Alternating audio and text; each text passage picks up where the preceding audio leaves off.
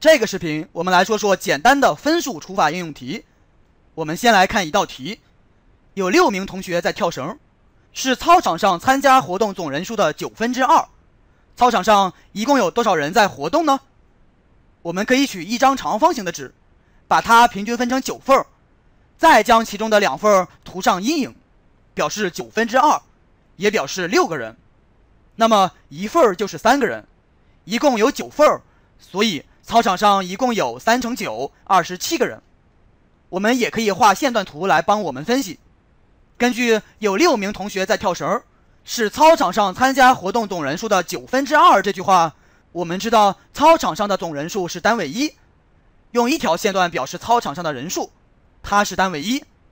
把这条线段平均分成九份儿，其中的两份儿就代表跳绳的人数，它占单位一的九分之二，有六个人。求一共有多少人？结合线段图。我们可以列出一个关系式，总人数乘九分之二等于跳绳的人数。根据这个关系式，我们可以列出相对应的方程。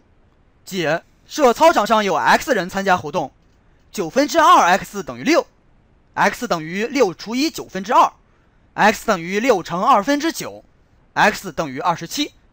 所以操场上有二十七人参加活动。同样，有了关系式总人数乘九分之二等于跳绳的人数。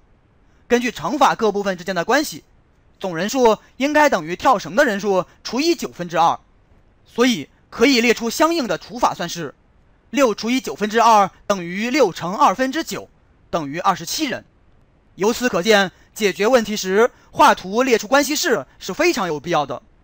现在我们就根据一些信息试着列出关系式。今年小明十二岁，是妈妈年龄的三分之一。这个是小明与妈妈的年龄进行比较，妈妈的年龄是标准，所以妈妈是单位一，列出的关系式为妈妈年龄乘三分之一等于小明年龄。我们再看一条信息，一种电脑现价比原价降低十五分之二，正好是九百元。这个是现在的价格与原来价格相比较，所以原来的价格是单位一，降低的正好是九百元，所以可以列出等量关系式。原价乘十五分之二等于降低的，也就是九百元。